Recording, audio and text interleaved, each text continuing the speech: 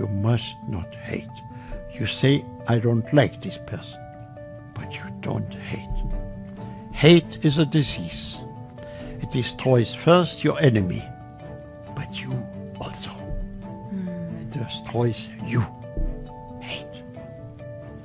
They ask me, what is my secret? My secret is a good wife and friendship. Friendship you cannot buy. When I was eight years old, my father says to me, Eddie, there's more pleasure in giving than taking. I thought he's cuckoo. no.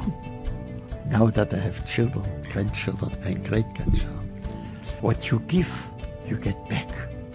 You give nothing, you get nothing back. See, this is important. I want to teach you, all the people who are younger, if you don't turn, learn from us, there will not be a future.